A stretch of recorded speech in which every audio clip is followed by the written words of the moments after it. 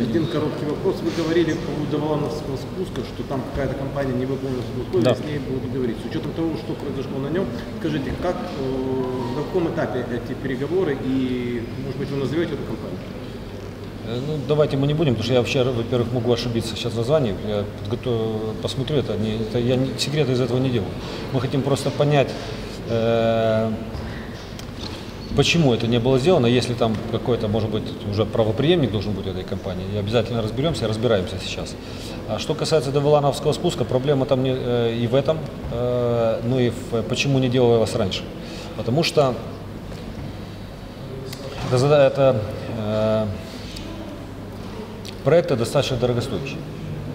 Не просто дорогостоящие. Э, Поменять просто этот коллектор по Девлановскому спуску и переться дальше в Приморский, Приморскую улицу, это полдела. Нам необходимо было э, увеличивать диаметр и идти по улице Приморской для того, чтобы выходить, э, выходить дальше. Но это как уже, если поступать по уму, вот так четко, планово, не планово, вот, э, глобально. Э, Это первое. Второе. На Девлановском спуске вы видите, какая там разруха, потому что все э, дома, в том числе бывшие коммунальные собственности, распроданы, и не, и не только коммунальные, но и государственные собственности были там предприятия, распроданы. Это частная собственность. Конечно, при ремонте и проведении работ мы должны четко понимать, э, что там будет происходить, какая стройка.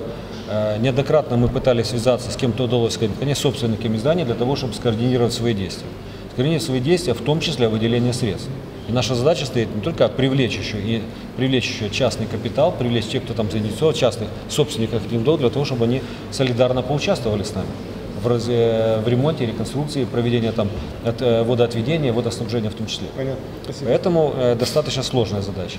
Вижу, что э, желание привлечь средства пока у нас не находит такого отзыва, или мы не нашли вариантов таких. Поэтому будем закладываться, наверное, и будем сами приступать э, к работе. А дальше э, будем выстраивать отношения.